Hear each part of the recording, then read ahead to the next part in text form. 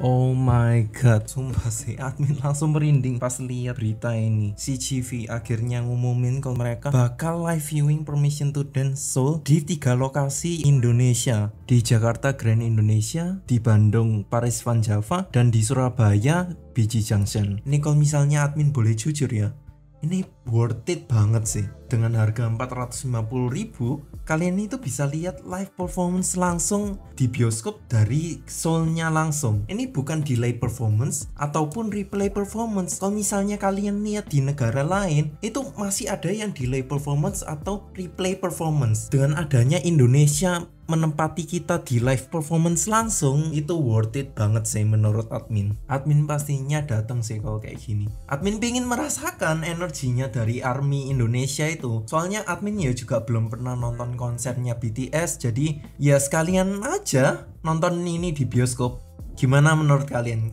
Apa kalian ya juga bakal nonton di bioskop atau hanya di online saja? Mungkin dari segitu saja. Thank you semuanya yang sudah mau nonton. See you in the next video. Bye.